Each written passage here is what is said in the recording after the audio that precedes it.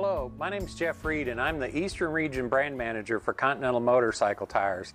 And I've been asked to describe our new ContiRoad tire, which is our new mid-price sport touring tire.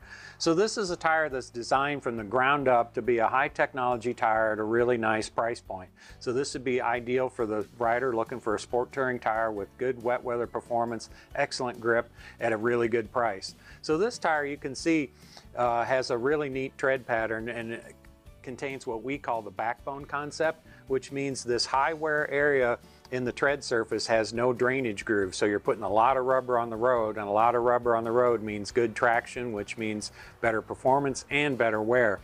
Uh, really unique tread design, so it does a great job of channeling water to the edge of the uh, tire for wet weather performance. That combined with our high silica compound technology we call RainGrip compound so with the RainGrip compound and a good tread design, you've got some excellent wet weather performance.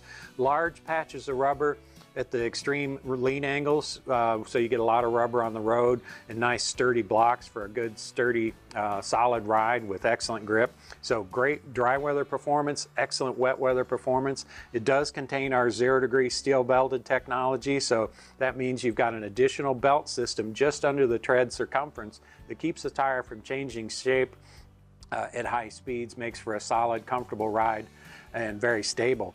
So this tire is um, a high mileage tire, both in the compound and the tread design with a very high level of grip. So it makes a great tire for the mid-price uh, price point for the rider looking for a lot of value. And that's the ContiRoad.